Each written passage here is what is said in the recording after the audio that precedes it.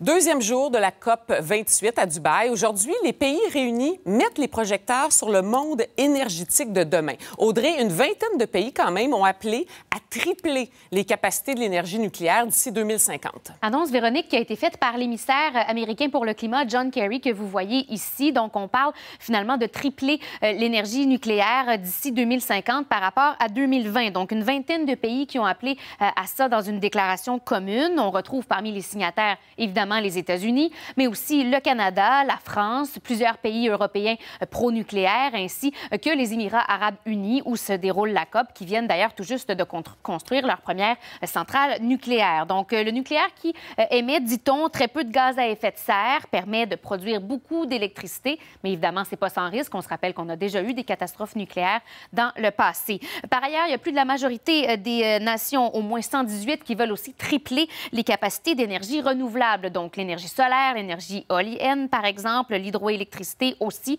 et doubler l'efficacité énergétique d'ici 2030. Mais l'annonce la plus importante, ben, c'est euh, sans doute cette annonce des États-Unis et de six autres pays qui veulent, euh, qui se sont engagés à fermer leurs centrales au charbon sans captage de CO2. C'est ce qui est le plus polluant parce que vous voyez, la Chine et les États-Unis sont les deux pays les plus polluants. Belle infographie euh, de CNN. Et pour la première fois, les États-Unis et la Chine collaborent dans ce dossier-là. À ce sujet, John Kerry.